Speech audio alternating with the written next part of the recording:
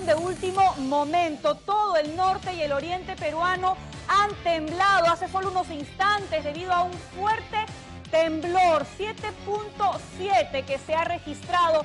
Ojo, Piura, Loreto, también en Lambayeque, la frontera con Ecuador, un terremoto que incluso se ha sentido en Colombia. La tierra ha temblado esta mañana. Un movimiento sísmico de magnitud 7,5 se produjo en la frontera de Perú con Ecuador a una profundidad de 137 kilómetros.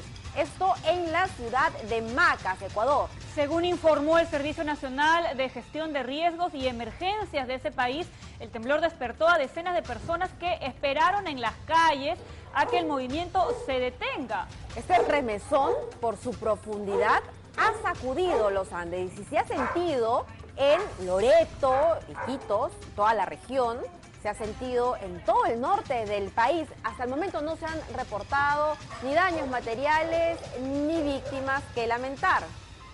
Un hospital de la ciudad de Riobamba, no obstante, está evacuando a sus pacientes y el movimiento también se llegó a sentir en Lima. Hay personas que aseguran haberlo sentido también hasta en la capital.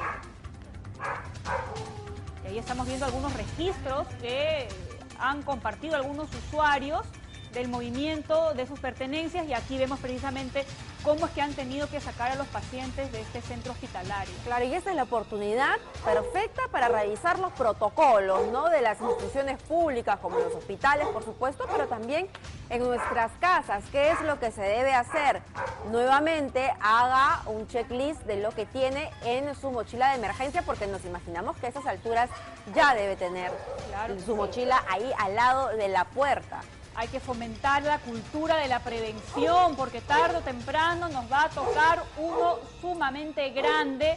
Y ojo, esto también nos dice que se ha sentido en Trujillo y en Lambayeque.